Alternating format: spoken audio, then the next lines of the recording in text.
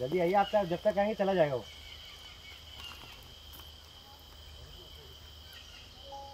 इधर देखिए पेड़